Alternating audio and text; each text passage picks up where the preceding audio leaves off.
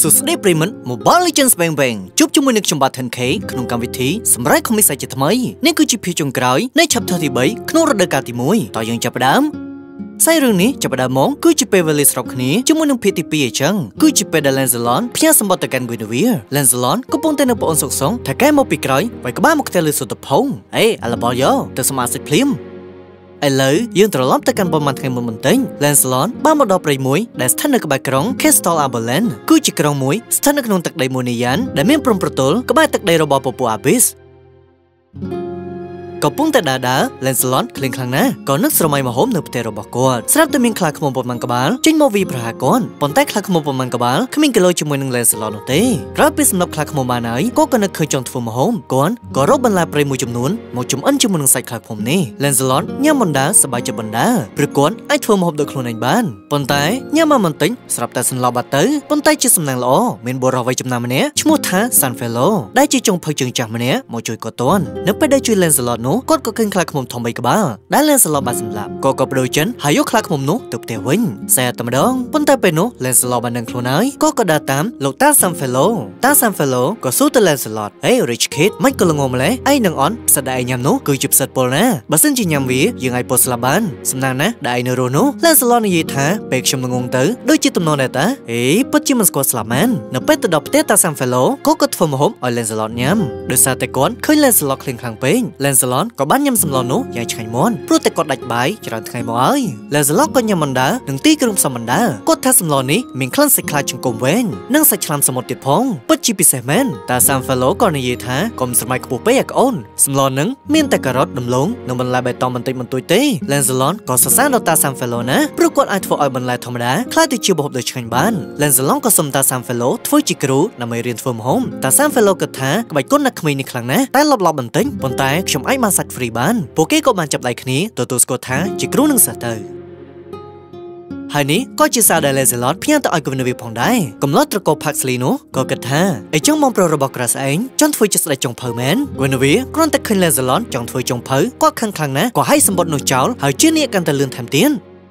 បន្តិចក្រោយមកពួកគេទាំងពីរក៏បានមកដល់ភូមិមួយស្ថិតនៅក្បែរ Castle Aberlin ដែរពួកគេបានទៅដល់ហាងដែល Lancelot ធ្វើការនោះនៅពេលដែលពួកគេចង់លបមើលស្រាប់តែមានសាច់មួយដុំហោះចេញពីក្នុងហាងមកត្រូវក្បាលកំឡោះ Paxley នោះលើសុទ្ធប៉ក់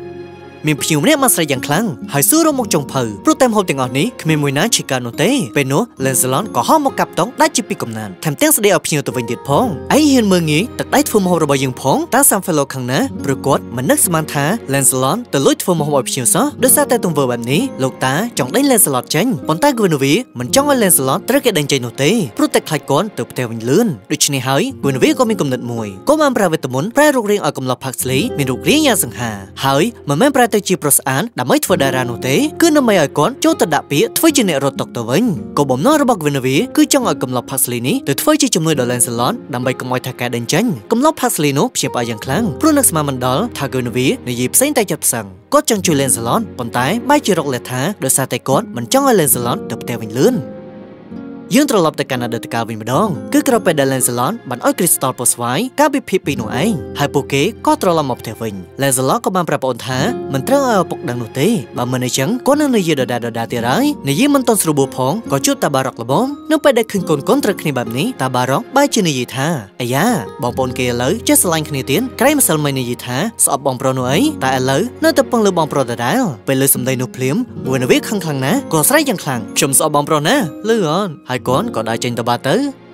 នៅថ្ងៃបន្ទាប់ Lancelot ក៏រកបាននំពេជ្រមួយយកមកឲ្យ Guinevere ស្រាប់តែតាបារ៉ុកសើចមកឲ្យទៀតក្មេងស្រីនៅតែជាក្មេងស្រីគឺនៅតែពឹងលើបងប្រុសដដែលតាំងពីពេលនោះមកទំនាក់ទំនងរបស់ពួកគេទាំងពីរមិនដូចជាមុនទៀតឡើយ Guinevere ប្រើមួយកំភ្លៀងចំនួនពាក្យថាអរគុណគូមុខឆ្មាចំនួនពាក្យថាអរុណសួស្ដីបិទពាក្យអាក្រក់អាក្រក់លើខ្នងចំនួនពាក្យថាលា ពេលស្ដាប់ពាក្យទាំងនេះចំកំឡុះផាសលីនោះរត់តែសរសើរអំពីទំនាក់ទំនងដ៏គួរឲ្យចាប់អារម្មណ៍របស់បងប្អូនទាំងពីរនាក់នេះខ្លាំងណាស់ពិតជាចេះស្រឡាញ់គ្នាមែនចេះគិតជួយគ្នាដោយសម្ងាត់ទៀតផងលយណា Guinevere គឺពិតជាចិត្តល្អមែនតើនិយាយមិនតន់ចប់សេចក្តីរន្ទះជើងរបស់ស្រស់ស្រីប្រឡាយផ្ទៃភេត្រារបស់កំឡុះសង្ហាផាសលីទៅហើយឆាបបិទមន់ខ្ញុំធុញនឹងពាក្យដដែលដដែលណាស្អីរឿងយើងក៏ចប់ត្រឹមនេះ អ្នកទាំងអស់គ្នាចង់នៅឬអន់តើ Guinevere មានផែនការអ្វីទៅអញ្ចឹងយើងរងចាំមើលនៅក្នុង chapter ទី4បន្តទៀតវីដេអូនេះគឺមានតែប៉ុណ្្នឹងអរគុណសម្រាប់ការទស្សនាជួបគ្នានៅក្នុងវីដេអូក្រោយនៅក្នុង credit scene កំឡុង Parsley នោះក៏បានសុំទៅបម្រើការនៅក្នុងហាងដោយមិនក៏ប្រាក់ឈ្នួលនោះទេតែ Sam Fellow ក៏នៅក្នុងចិត្តនោះឡប់មកម្នាក់ទៀតហើយ